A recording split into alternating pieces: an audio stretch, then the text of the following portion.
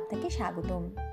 এই ভিডিও টিউটোরিয়ালটি দেখলে আপনার বাতায়নের সেবা বক্সে একাধিক কন্টেন্ট সম্বলিত তালিকার লিঙ্ক যুক্ত করতে পারবেন।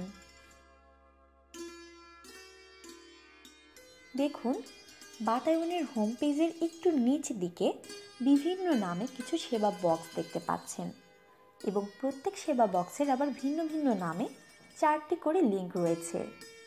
এখন যে কোনো লিঙ্কের উপর ক্লিক করলেই আপনি ওই সম্পর্কিত একটি পাতা বা কন্টেন্ট তালিকা দেখতে পাবেন।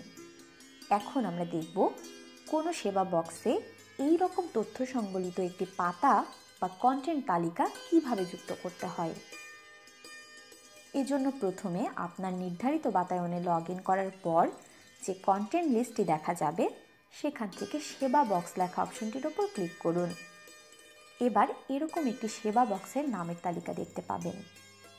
এখন সেবা বক্সের এই তালিকা থেকে আপনি যে অপশনটি নিয়ে কাজ করবেন সেটি বাছাই করতে হবে। ধরি, আপনি পর্যটন ও ঐতিহ্য সেবা বক্সে দর্শনীয় স্থানের তালিকা লিঙ্ক করবেন। তাহলে পর্যটন ও ঐতিহ্য লেখাটির ডান পাশে অবস্থিত এডিট বাটনে ক্লিক করুন। যে পেজটি ওপেন হলো, এটিকে স্ক্রল করে একটু নিচের দিকে নামালে পেজটির মাঝামাঝি লিঙ্ক এক লিঙ্ক দুই লিঙ্ক তিন লিঙ্ক চার লেখা চারটি ফিল্ড দেখতে পাবেন। এখন আমরা লক্ষ্য করি লিঙ্ক এক ফিল্ডটি দর্শনীয় স্থানের জন্য। এখানে লিঙ্ক ফিল্ডের পাশে থাকা সার্চ বাটনে ক্লিক করুন। এবার সিলেক্ট কন্টেন্ট নামে একটি উইন্ডো আসবে।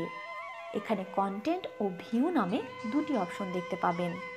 এখানে বলে রাখা ভালো আপনি যদি একাধিক কন্টেন্ট সম্বলিত কোনো তালিকা লিঙ্ক করতে চান, তবে ভিউ অপশন নির্বাচন করতে হবে। আর যদি একটি মাত্র কন্টেন্ট বা পাতা লিঙ্ক করতে চান, তবে কন্টেন্ট অপশনটি নির্বাচন করতে হবে।